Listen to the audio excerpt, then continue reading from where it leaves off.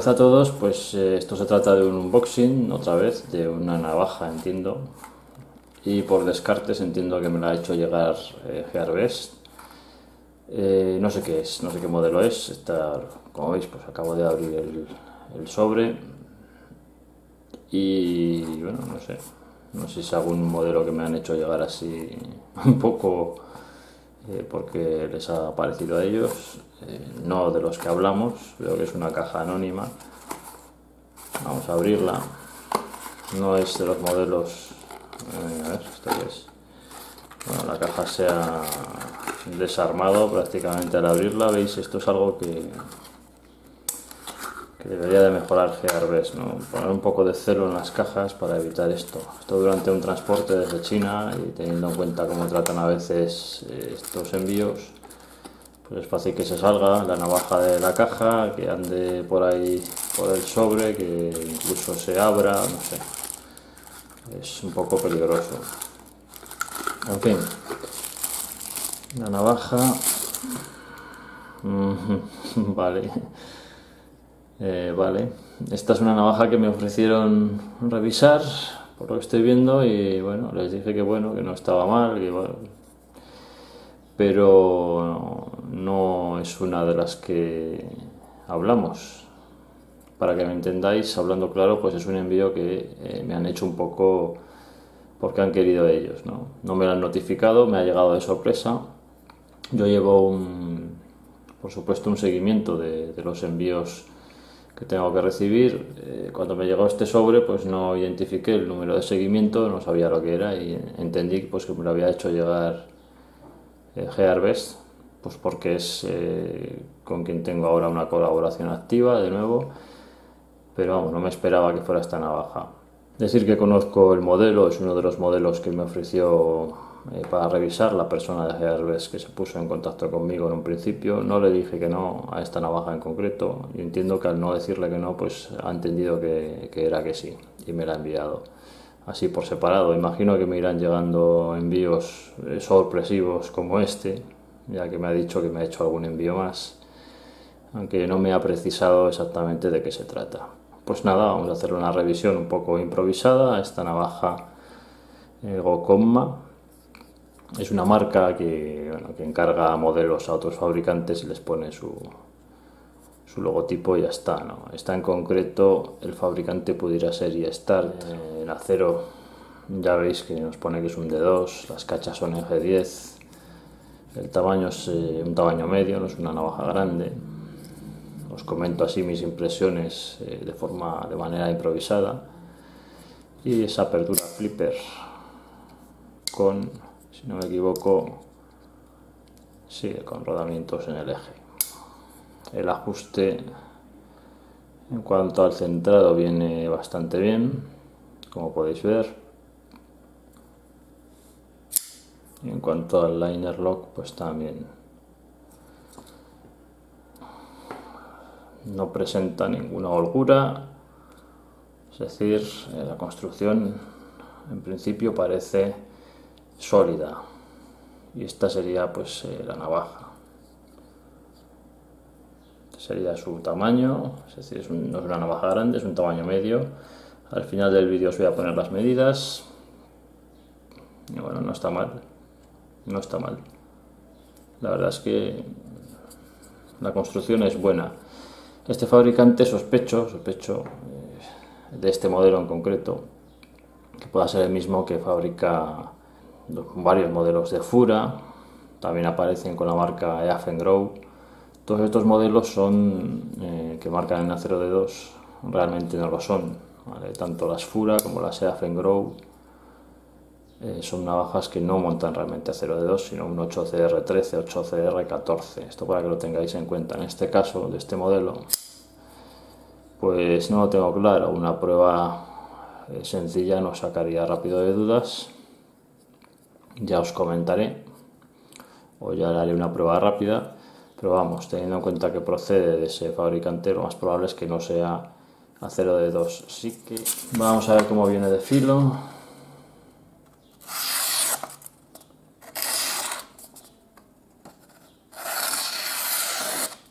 Pues viene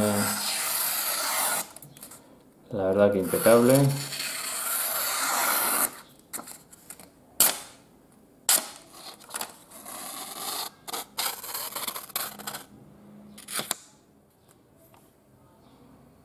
La terminación del filo pues se ve bastante buena también.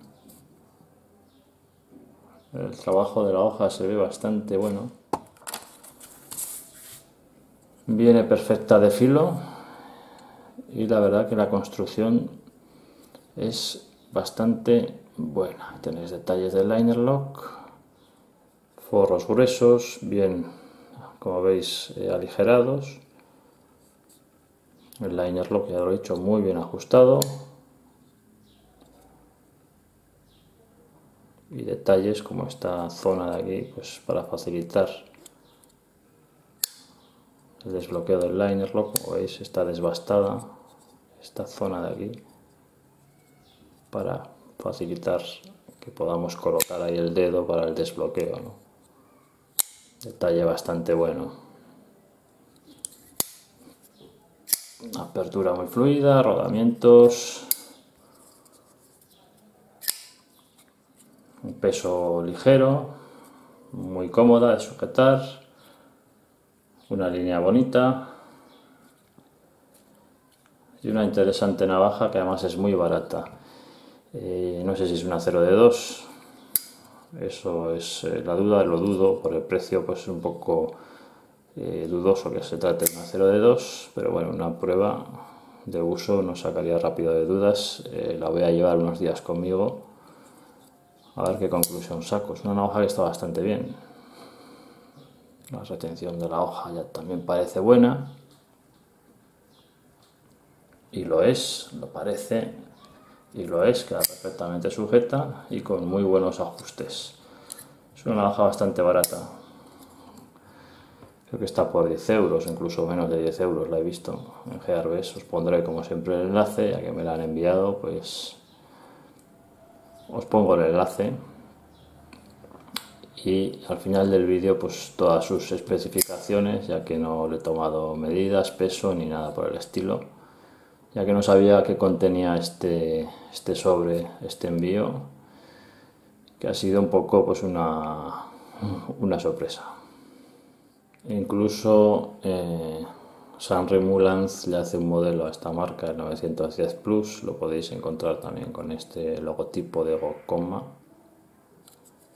Es decir, que son. No es que tenga muchos modelos de navajas, pero bueno, por lo menos sí parecen de calidad. Esta tal y como está construida, pues ya habéis visto que está perfectamente ejecutada. Os la muestro ya para terminar para ser breve con todo detalle, pues aquí tenéis la hoja, como veis una hoja con una línea bonita. El vaciado es cóncavo. tenemos pues cremallera en el lomo.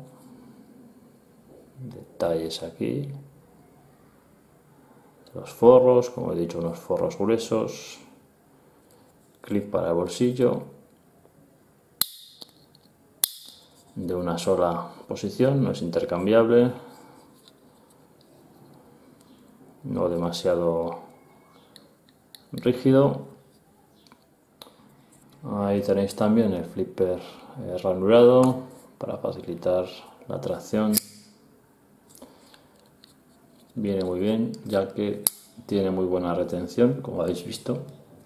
En ese sentido, impecable. El ajuste hay que decir que es impecable. Y el flipper ranurado, pues que nos ayuda a propulsar la hoja sin que el dedo pues se nos deslice. Si fuera un flipper liso y tuviera esta retención tan buena, pues la apertura sería bastante más complicada. El agujero para ponerle una rabiza. Aquí tenéis el agujero por el que se coloca la bola de retención, las cachas, el texturizado del G10 con zonas ranuradas para mejorar la tracción, tanto arriba como abajo, cómoda, bien ejecutada no tiene partes que nos puedan dañar la mano, como digo, pues está muy bien terminada esta navaja. No sé, me esperaba algo peor, la verdad, ¿eh? me esperaba una calidad peor, pero eh, si una cosa tiene eh, esta marca que fabrica estos modelos, ya he dicho que los fabrica tanto para Fura como para Grow, ¿vale? que tengo algún modelo por ahí, es que por lo menos están muy bien fabricadas, por lo menos la construcción es muy buena, no será 0 de 2, probablemente, no lo sé, en este caso también es bastante dudoso por el precio de la navaja, que es muy barato pero eh, están perfectamente fabricadas para el precio que tienen. Es decir, la construcción es correcta, correctísima. Eh, no comento nada más este modelo, pues es una, un unboxing eh, que no sabía lo que era. entendía que una navaja y entendía que me la había podido enviar Gearbest, pero no es ninguno de los modelos de los que hablé con ellos. Este es uno que me ofrecieron, no les dije ni que sí ni que no, no les di una contestación realmente sobre este modelo. Y al no hacerlo, pues me la han enviado para revisar. Y si os interesa, pues la verdad, una navaja económica de bastante, bastante buena calidad en cuanto a fabricación y materiales. A destacar de este modelo, pues los ajustes, que está bien construida, y que los materiales son correctos. Aparte, por el precio que tiene, pues es buena navaja. Buena navaja. Si necesitáis una navaja así para diario, que no, que no os pese darle uso, que no, si, os pierde lo que sea, pues es una buena opción. Está bastante bien. Paso a poneros sus especificaciones y ya me despido hasta mi próximo vídeo. Gracias a todos, un saludo y lo dicho, os voy a dejar enlace eh, en la descripción de este modelo de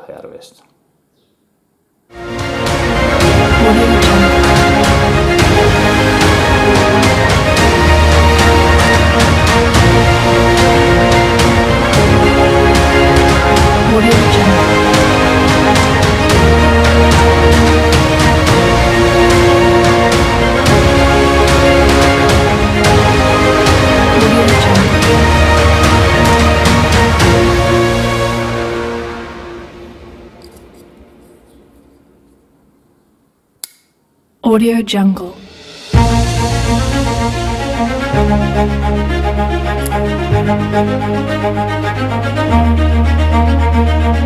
Audio Jungle.